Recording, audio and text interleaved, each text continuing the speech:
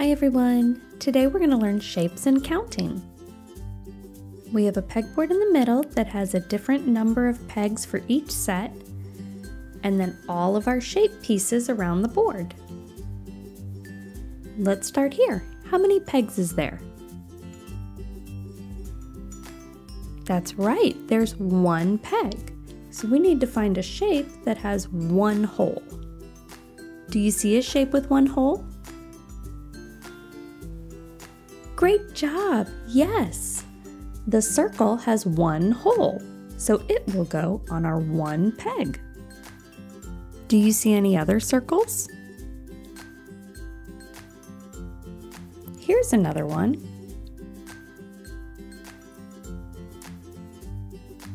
Let's look for our next shape. Our next set has one, two pegs.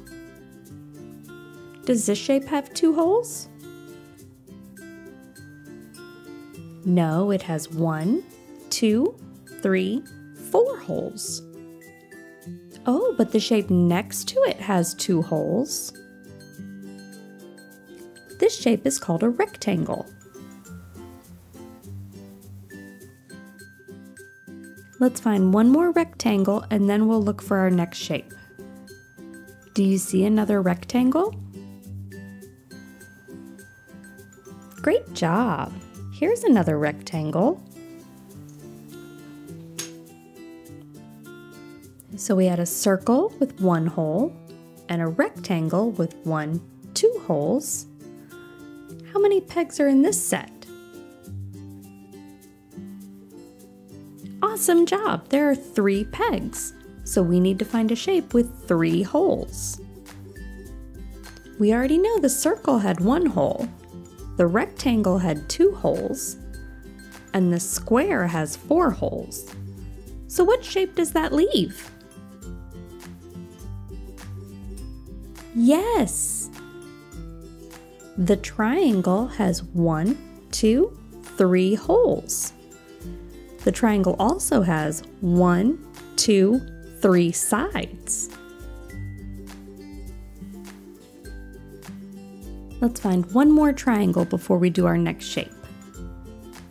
Can you find the darkest green triangle? If this one is the lightest green, which one is the darkest green? You got it! You are so smart! Here is our darkest green triangle. And our last set has one, two, three, four pegs. We already know that this shape had four holes. This is called a square. And it has one, two, three, four sides that are all the same length.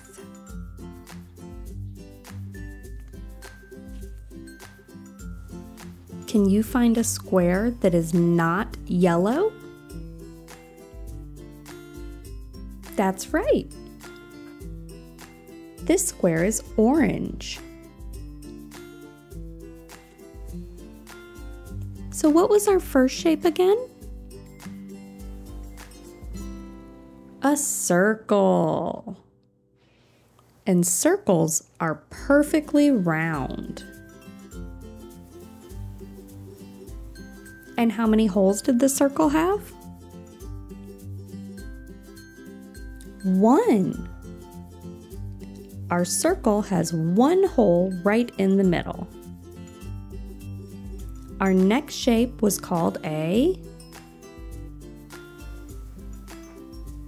rectangle. And it looks like a square, but it has two longer sides and two shorter sides. And how many holes does the rectangle have? You got it, two. Our next shape had one, two, three holes. What else did the triangle have three of?